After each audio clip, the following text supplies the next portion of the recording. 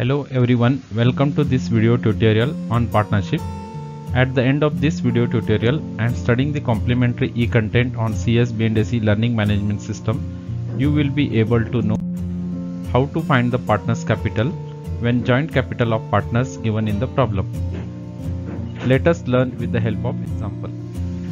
The joint capital of A, B, C is 1,20,000 and at the end of the year A gets 10,000, B gets 15,000 and C gets 35,000. Find the partner's capital.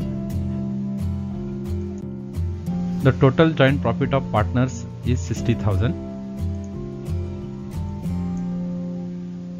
Therefore A's share profit share of 1/6 is 20,000 and B's capital share is 30,000 and C's capital share is 70,000.